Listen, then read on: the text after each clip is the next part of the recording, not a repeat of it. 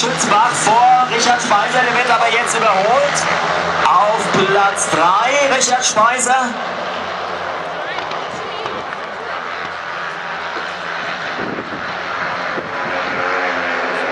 Sirk Schützbach an der Spitze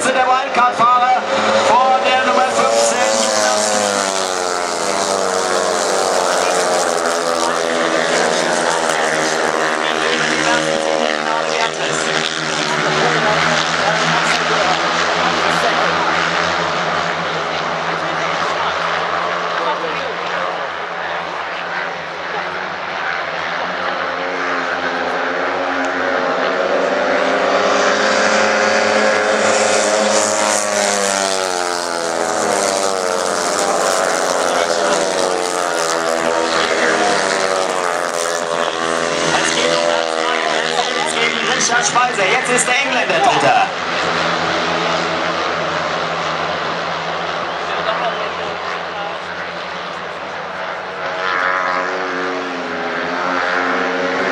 Letzte Runde.